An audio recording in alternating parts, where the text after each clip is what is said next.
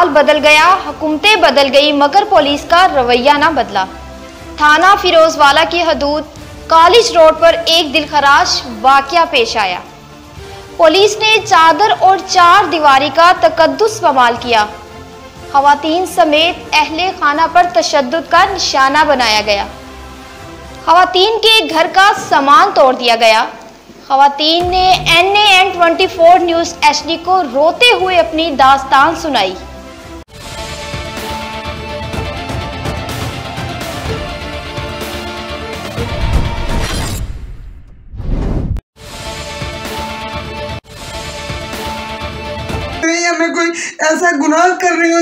सजा ये पुलिस मुझे ऐसे दे कर इससे अच्छा था हमें पकड़ के ले जाते, पर्चे दे देते, मार देते। अस्सलाम वालेकुम नाजरीन, प्रोग्राम हम और आपके साथ मैं हूँ आपकी होस्ट नाइला नज़ीर। तो नाजरीन, इस वक्त हम मौजूद हैं थाना फिरोजवाला की हदूद में। तो नाजरीन, जैसे कि आपने देखा है कि हमारे मुल्क में मार पीट लड़ाई, झगड़े, कत्ल, गैरत, सरेआम हो रहे हैं। इनकी बुलंदी पर हैं, अरूज पर हैं। क्यों?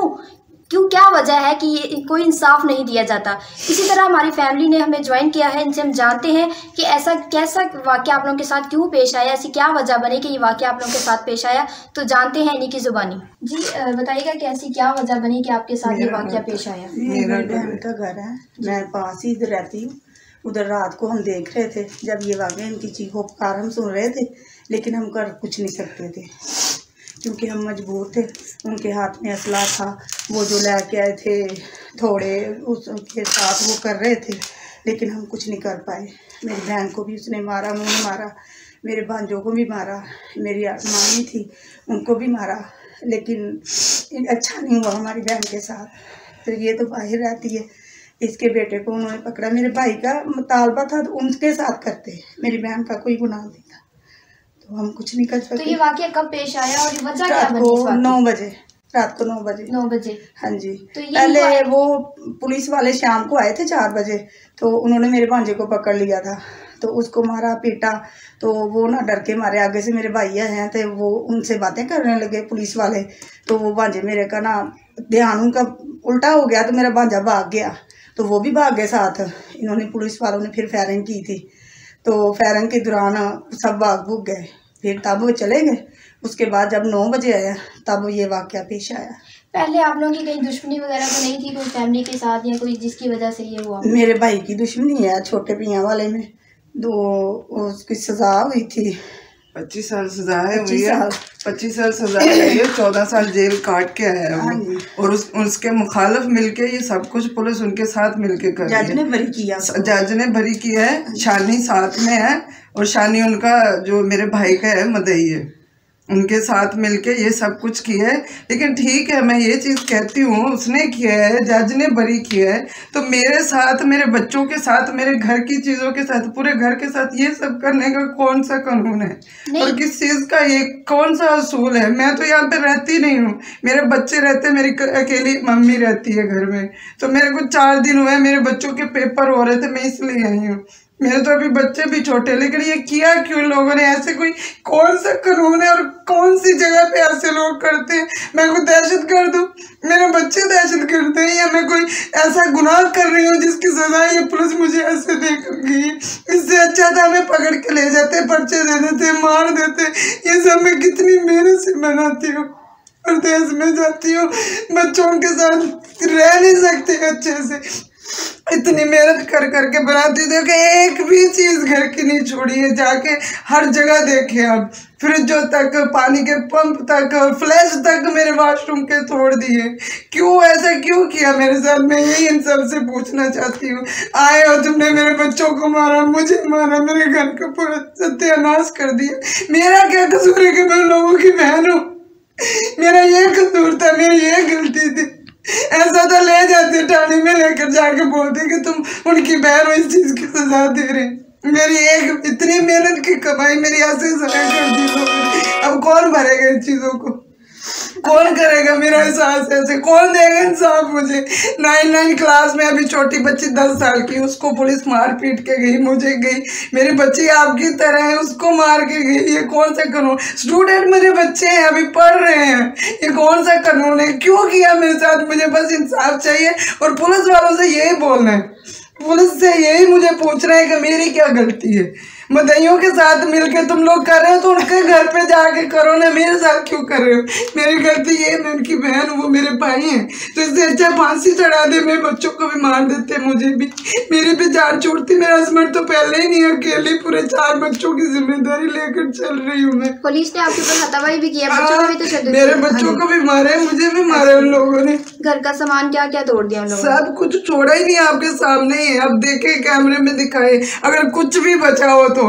घर की मकान की दीवारें, गेट, मेरे सब उधर पंप ऊपर से टैंकियाँ, सब कुछ तोड़ दिया। खाना बनाए हुए थे, मैं खाना खाना नहीं हुआ ऊपर जाके देख के वैसे ही पूरा गिरा पड़ा है। हर चीज़ को उन्होंने सत्यानाश कर दिए हम लोग जान छुड़ा के भागे हमारे पीछे फायरिंग की उन लोगों ने। इतने इतने मेरे बच्चे हैं। आपने कोई दरखास्त वगैरह दी है थाने में? कुछ भी नहीं मैं जाऊँगी तो पकड़ के बिठा लेंगे। दो बार तो फिर अभी आ गई है थोड़ा टाइम पहले दो डाले फिर आए हैं। मैं क्या करूँ अकेली औरत मैं किधर जाऊँ? मैं किसको बोलूँ? मेरे तो बच्चे भी छोटे छोटे ये जेल में डाल देंगे मेरे बच्चों का कौन सहारा बनेगा? नहीं पुलिस बार बार आती है आपने उनसे पूछना था कि वजह क्या है जिस वजह से वो आते हैं बार बार? वो बोलते तुम्हारे भाई ने जो कत्ल किए हुए है ना उसकी सजा दे रहे हैं। तो सजा तो उसको पहले से मिल चुकी है पच्चीस साल सजा हुई उसको चौदह साल तो रह गया है जेल में। अगर करने है तो फिर उस अकेले के साथ करे ना। हमारी पूरी फैमिली का क्या कसूर है? और मेरा क्या कसूर है? मेरे बच्चों का क्या कसूर है? यही मुझे पूछ रहे हैं। मैंने तो पुलिस से भी इतनी रिक्वेस्ट की भाई मैं बहुत मुश्किल से अपना घर चला रही हूँ। मेरी क्या कोई गलती मेरे गुंबद से यही है कि मेरे मुझे इंसाफ चाहिए। ये पाकिस्तान की हर बेटी को ऐसा इंसाफ चाहिए। अगर गलत हो मुझे कहीं पे भी बुलाओ। कहीं पे भी बुलाए, पुलिस वाले जज वकील, मीडिया वाले, मैं वहीं पे बोलूँगा, अगर मेरी गलती है, मैं पूरे कैमरे के सामने बोल रही हूँ, मुझे सजा दो, मेरे बच्चों को सजा दो। जब मेरी गलती नहीं है, मेरा कसूर नहीं, चार दिन हुए ये देखो बैकों के ऊपर, अभी तक स्टिकर लगे हुए हैं, वो देखिए बैग के ऊपर, चार दिन हुए मैं बाहर से आई हूँ। मेरी क्या गलती है? मेरे इतने बच्चे मेरे बच्चों का फ्यूचर पूरा खराब हुआ। बच्चों के नाइन क्लास के पेपर हो रहे हैं मेरे चार बच्चे हैं दो बेटियाँ हैं दो बेटे हैं। एक मैंने माल डंगर रखा वो माल डंगर को संभालता है। ती, तीनों बच्चे मेरे पढ़ रहे हैं। अच्छा आप भाई रहती थी आपके बच्चे भी आपके साथ ही इधर रह रहे हैं नहीं मेरे बच्चे यही रह रहे हैं। उनके पास हथौड़े वगैरह थे किस चीज़ों से उन्होंने सारा ये तोड़ा? अभी उन्होंने लाइट तोड़ दी। कुछ भी दिखाई नहीं दे रहा था। अंधेरा बहुत था। इसलिए कुछ भी नहीं देखा जा रहा। जब आप लोग बचाने आए सब करने आए तो फिर आप लोग उनके पास कोई असला वगैरह था? हाँ जी वो फायरिंग कर रहे थे। तो कोई भी नहीं आ गया गालियाँ निकाल रहे थे बहुत ऊँची ऊँची आवाज़ों से। तो फायरिंग करने लगे भाग गए सभी पीछे। मेरी अम्मी उनके पास रहती है। और मेरे तो भाइयों के साथ मिलना जुलना भी नहीं वो लोग तो मुझे वैसे पसंद नहीं करते कि मैं बाहर जाती हूँ। इसलिए तो कुछ है तो उन लोगों के साथ करे ना मेरी क्या गलती है? और शानी जो लेकर मेरे घर की तोड़ फोड़ के घर की है उसकी अपनी बहनें नहीं है।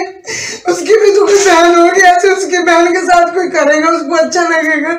या मेरा कसूर क्या था मैं उनको सबको पता है, मैं ऐसे मेहनत करके अपने बच्चे पाल रही हूँ। मेरा कोई सहारा नहीं है अल्लाह के सिवा। उसको तरस नहीं आया कि किसके घर में ये सब कुछ कर रहा हूँ। कि जो है, ही वारस है, बेवारस है, जिसका ना हस्बैंड है। बच्चे छोटे छोटे खुद औरत है, अपने बच्चों को पाल रही है। क्यों किया इन लोगों ने मुझे बस ये इंसाफ चाहिए? और इन चीज़ों का जवाब चाहिए लोगों ने क्यों किया मेरे साथ ऐसा? तो नाज़रीन जैसे कि आपने दुख भरी कहानी सुनी है, कौन इंसाफ देगा? उनकी गलती ही क्या है? जिस वजह से उनको इतना जलील किया जा रहा है, उनका सामान तोड़ दिया है। हमारा कैमरा मैन आपको दिखाएगा कि एक एक चीज़ तोड़ के गए हैं। कोई ऐसी चीज़ नहीं छोड़ के गए जिससे वो बाद में देख सकें, कुछ कर सके। हर चीज़ तोड़ दी है, फ्रिज तोड़ दिया, बेड तोड़ दी, कोई चीज़ नहीं बचाई कि जिस वजह से वो लोग दोबारा उसको मुकम्मल कर ले। घर गिरा दिए मकान सारे तोड़ दिए तो नाजरीन इस वक्त अहले मोहल्ला भी हमारे साथ मौजूद है इनसे भी जान लेते हैं कि इस घर में जो दर्दनाक वाक़ पेश आया है तो इनसे जानते हैं अस्सलाम वालेकुम वालेकुम सलाम जी बताइएगा कि इस घर में जो वाक़ पेश आया है तो इस हवाले से आप बताएं कि जैसे पुलिस आई फायरिंग वगैरह हुई कि आपने सब देखा हम डेरे पे देख ਰਹੇ ਸੀ ਫਾਇਰਿੰਗ ਕਰਦੇ ਪਏ ਸੀ ਤੋੜ ਫਾੜ ਕਰਦੇ ਪਏ ਸੀ ਅਸੀਂ ਡਰਦੇ ਅਗਾਂ ਨਹੀਂ ਆਏ ਜੋ ਸਾਨੂੰ ਨਾ ਮਾਰ ਦੇ ये जो खौफ फिराज फैला हुआ था पूरे मुल्क में यहाँ पे पूरे यहाँ पे खौफ फैला हुआ था। तो आपने वो सारा देखा वो सारी आपने देखा कि घर में तोड़फोड़ हो रही है ये सब देखने आए थे आप?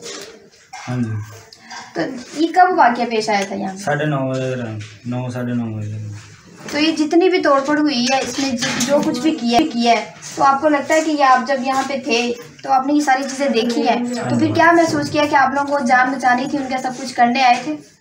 ਪਤਾ ਨਹੀਂ ਉਹ ਕੀ ਕਰ ਰਹੇ ਥੇ ਇਹਨਾਂ ਦਾ ਕਸੂਰ ਵੀ ਕੋਈ ਨਹੀਂ ਮਾੜੇ ਗਰੀਬ ਬੰਦੇ ਨੇ ਤੇ ਇਹਨਾਂ ਪਤਾ ਨਹੀਂ ਕੀ ਕੀਤਾ ਕੀ ਨਹੀਂ ਉਹਨਾਂ ਆਣ ਕੇ ਤੋੜ ਫਾੜ ਕਰ ਗਏ ਨੇ तो नाजरीन जैसे कि आपने अपने मोहल्ले की भी राय सुनी पहले हमने फैमिली की राय सुनी कि ये कैसा वाक़ पेश आया इतना दर्दनाक वाक़ है तो जल्द से जल्द हमारी हुकूमत से अपील है कि इनको इंसाफ दिया जाए